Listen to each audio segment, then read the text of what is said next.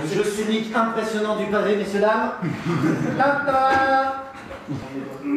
Allez, oui, je sais, mais... Alors on s'excuse par avance auprès de ceux qui connaissent déjà tout ça. Alors, parce qu'il y a toujours des spécialistes du syndicalisme dans les salles. Alors, ils nous ramassent. hein. Mesdames et messieurs, l'arbre de la division syndicale.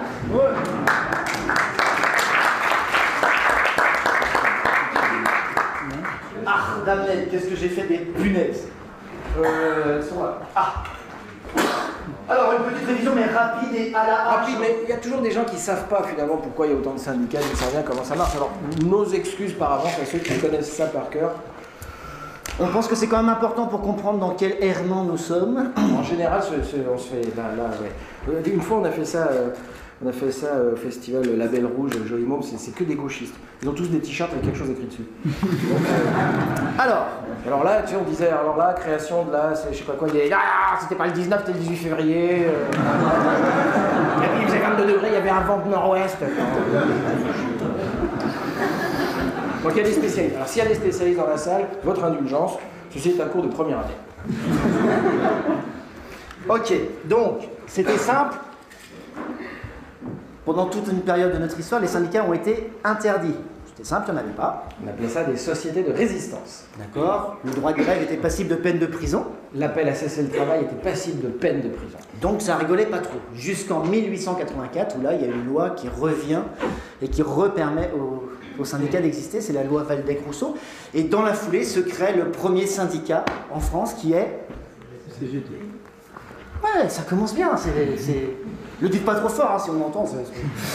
Donc la CGT, tout à fait, la CGT Ça en, commence avec la CGT. en 1885. Alors c'est pas encore la CGT parce que en 1885, voilà, c'est encore la Fédération nationale des syndicats, la FNS, et ils vont fusionner dix ans après, en 1895, avec la Fédération des bourses du travail, chère à Fernand Pelloutier. Et donc ça va devenir la CGT, la Confédération Générale du Travail. Alors à cette époque-là, c'est simple, hein, tout le monde y est. Ah, tout le monde non, en fait, euh, parce que tout de suite se crée un second syndicat. Lequel? Ben oui, la CFTC, FES, la Confédération française des travailleurs chrétiens.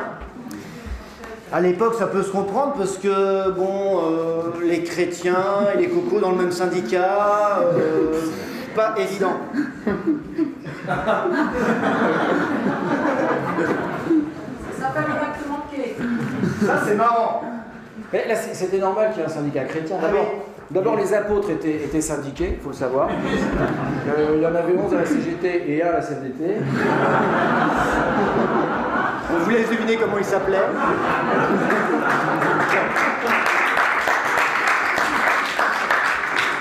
Donc à ce moment-là, c'est assez simple.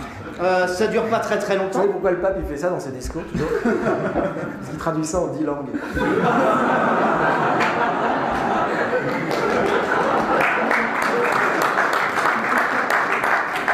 Ami de la poésie, bonsoir. Donc, on avance un petit peu. Hop, le XXe siècle. euh, Au XXe siècle, euh, assez vite, il y a un congrès qui a assez d'importance. Le congrès d'Amiens, où a adopté une charte qui est encore assez présente dans la plupart des références de la plupart des syndicats d'aujourd'hui et qui en fait marque un changement important sur le fait qu'un syndicat ne va pas passer sa vie qu'à défendre les conditions de travail, mais peut aussi avoir un projet sur la société, avoir une vision plus globale et donc avoir un projet en fait politique, ce qui a euh, posé pas mal de déchirements au sein de la CGT.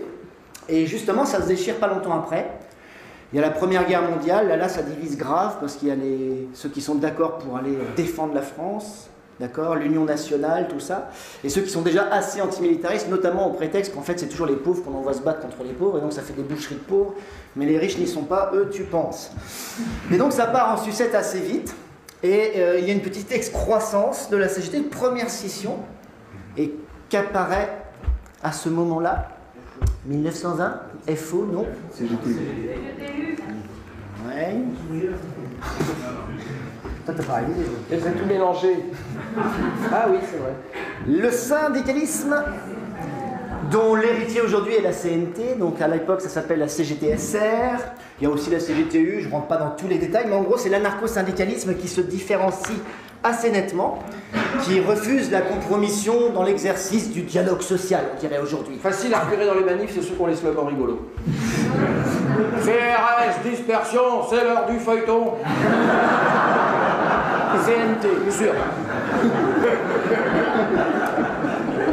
Donc il y a trois morceaux de CGT à ce moment-là, mais ça ne va pas durer, parce qu'il arrive très très vite le Front Populaire.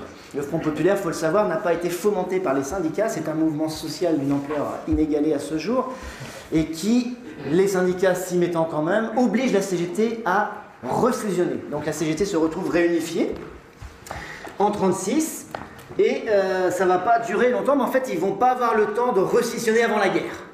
Donc là, ça se simplifie. Pourquoi? Bah, Parce que Pétain, lui, il interdit les syndicats. D'accord? Il y a même des ramassages assez nombreux, pas mal de syndicalistes qui vont finir dans les camps. Et donc, euh, tous les syndicalistes passent dans la clandestinité pour ceux qui ne se font pas choper, ce qui explique en partie qu'ils vont prendre une part assez déterminante dans la résistance et que ça explique peut-être aussi leur rapport de force à la sortie de la guerre. Parce que comme ils ont été assez actifs dans la résistance, ils retirent leur part du gâteau. Quel est le syndicat suivant qui se crée en France en 44 Toujours pas, non. Non plus.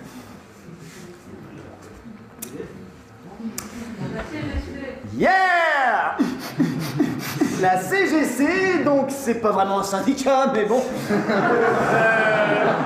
Celui des cadres, parce que tu comprends, on peut pas défendre les salariés et les cadres dans le même syndicat. Tous en Suisse, tous en Suisse. Donc lui, on le met pas sur l'arbre, on le met à côté pour qu'il se sente à l'aise.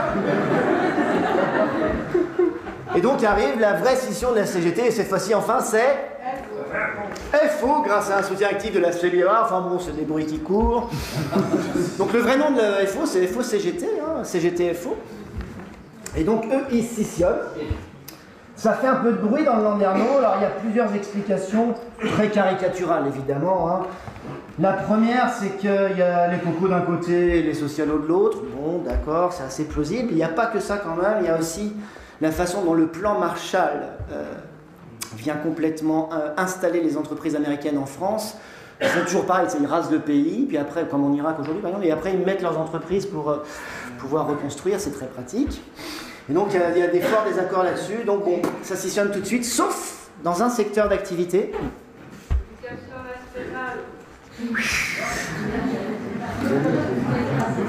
Et il pleuvait ce jour-là. C'était un jeudi. Il y avait un vent sud-sud-est, 17 km On n'a même pas retrouvé le logo, mais euh, bon, la FEN se crée. En fait, ce qui se passe, c'est que dans la Fédération de l'éducation nationale, ils refusent la scission CGTFO et tout le monde reste dans le même syndicat. Peut-être que c'est pour ça que dans les Ducnats, il y a eu pas mal d'acquis, qu'ils ont même irrigué par la suite pas mal d'acquis pour la fonction publique et même, dans une certaine mesure, pour le droit privé au fur et à mesure des années. Simple hypothèse. hein. Ensuite, quel syndicat apparaît? On était donc en 47, je ne l'ai peut-être pas dit, c'est en 47 la. C'est un syndicat, faut... Oui. CFDT. Ouais, la CFDT, il n'y a pas de raison, les chrétiens scissionnent aussi. hein. Ne jamais laisser traîner un stylo près de la scène. Tendance à simuler absolument compulsif. Alors attention, à cette époque-là, la CFDT, c'est pas du tout celle de maintenant. Non. Il y a des gens très très chouettes là-dedans, ils sont beaucoup plus à gauche que maintenant. Lip, Lip, c'est formidable. Euh, c'est une scission qui repose principalement justement sur la référence chrétienne, et donc ça, ça scissionne grave, mais aussi sur les manières de militer, et donc il y a plein de gens qui sont plus engagés, qui partent à la CFDT à l'époque, c'est... Politiquement, ils sont plutôt proches du PSU, par exemple, qui est, qui est- qui est- qui est même pas le PS d'aujourd'hui, quoi. C'est- c'est- c'est- bon. Donc voilà, il va falloir attendre pas mal de temps pour que ça se ramollisse du bulbe euh, comme maintenant. 1964, la scission, hein, CFDT, CFDT. Ils sont quand même marxistes, hein, ceux qui parlent. Ceux qui parlent Euh, Ceux qui créent la CFDT, ils sont quand même Oui, marxistes. c'est ça, ils sont franchement à gauche, hein, c'est pas, c'est pas de la blague. Oui, mais la, la- la- Lip, Lip est, Lip est la bagarre qui a, qui a fait le plus peur aux 80. Et c'était la CFDT qui l'a menée, bien sûr. Alors, les suivants. Hein On est tranquille pour un moment, on est en 64, hein, donc 68 passe. C'est fait Non, c'est Sud en premier. Sud, euh, les solidaires qui commencent en 88, en fait, ça euh, En fait, c'est assez simple, ça va péter un peu partout. Pourquoi? Bah, Parce que la gauche arrive en 81. Se pose un problème très rapidement quand la gauche fait plus une politique de gauche, donc à partir de 83. C'est-à-dire, quand on a attendu 40 ans la gauche, et que la gauche ne fait plus une politique de gauche, est-ce qu'on peut mobiliser les copains contre les copains? Tu vois, c'est pas évident ce truc-là. Et ça va, ça va poser plein de problèmes parce que voilà, ça va, ça va se déchirer dans les syndicats. Il y en a qui vont pas vouloir aller vers la lutte. Et donc ça pète en premier à la CFDT, donc Sud évidemment une scission très majoritaire de la CFDT. Ça commence au PTT, Annie Coupé, tout ça. Ils se font virer à coups de pompe dans le berge. Et ensuite, euh, dans les grandes entreprises qui sont en train d'être toutes privatisées, Sud Télécom, Sud Rail, etc., etc. Et donc maintenant, c'est un syndicat assez important, toujours pas très représentatif, puisque ils font tout pour qu'il ne le soit pas, mais enfin, ça, ça prend de l'ampleur. Donc la CGT, on est tranquille, FO, on est tranquille, d'accord Et ensuite, les suivants? Eh ben ouais Il faut bien que ça pète aussi. enfin. à l'éducation nationale, ils tiennent à peu près 40 ans de plus, c'est déjà pas mal, hein, mais bon, ça finit quand même par poser trop de problèmes, les socialistes au pouvoir. Et donc, bon, là, ça se fait. C'est moins simple qu'à la CFDT. La CFDT, on vire les gens, c'est simple. À la FSU, on truque les urnes, on bourre les congrès, enfin les, les deux, c'est- c'est sympa. Et là, ça pète en deux, la FEN explose donc, et se divise en deux syndicats l'UNSA et la FSU. Ah, vous êtes bon, hein Donc la FSU, c'est un peu la tendance CGT de la fonction publique, on va dire, et puis l'UNSA, ce serait plutôt la CFDT de la fonction publique. Bon, c'est caricatural, hein, on l'a dit. hein, bon. C'est juste pour comprendre que, bah, du coup, l'unité syndicale, c'est c'est chaud en France, hein, parce que la CNT, elle continue. hein. Bon, ils, ils sont toujours euh, 0,2%, mais ils sont là. Ils ont changé quatre fois de nom, enfin bon, tout ça. Ouais. La CGC, bon, ils sont deux, mais ils signent quand même.